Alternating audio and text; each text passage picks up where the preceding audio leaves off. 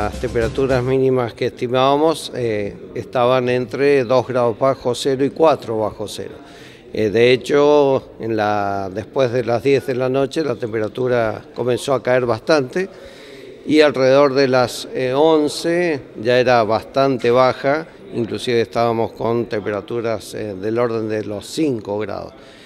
luego de las 11 de la noche ya comenzó una brisa que esta brisa no fue permanente, sino que con variaciones, y eso hizo que la temperatura en algunos momentos subiera, en 40 minutos por ejemplo subió 4 grados, y luego en cuanto se detenía el viento cayera la temperatura, inclusive también en, esa magnitud, 2, 3, 4 grados en una hora.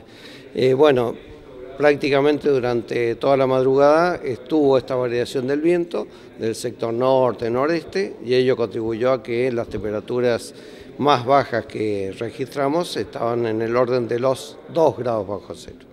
Bueno, sí, justamente en el caso de anoche eso le llamamos el pico de mínima, es decir, puede haber llegado la temperatura a 2 bajo cero, pero durante 10-15 minutos, es decir, que no es significativo el tiempo tampoco para eh, producir daños. Y estamos allí en las temperaturas justamente en el límite.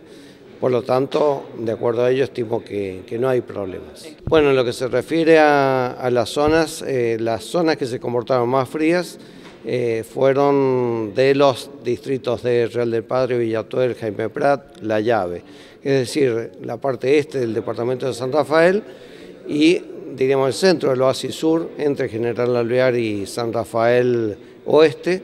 Eh, de todas formas, eh, las temperaturas mínimas que registramos justamente se dieron en esos lugares.